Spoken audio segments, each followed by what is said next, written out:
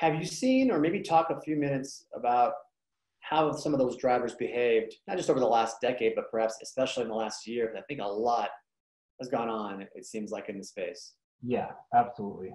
Um, there's two things that are really important that's happened in the last year. Well, there's a lot of things really important that have happened, but you know, the the one that's really important is we've hit just exceptionally low rates, right? So we actually were an all-time low uh, in February going into March uh, for the 10-year municipal bond.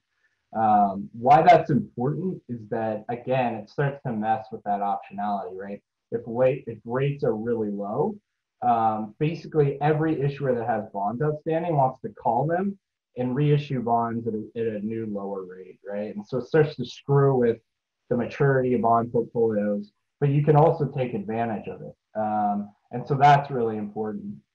Now, what happens is when you got that really low rate, or we are at really low rates, and then we got this huge spike in rates in March, is you went from every single bond basically being on the docket to be called, all these new issues, um, to very, very quickly, um, all of a sudden everyone's saying, oh, these bonds aren't a two year bond with a two year call. These bonds are actually a 20 year bond because that's the actual final maturity of the bond.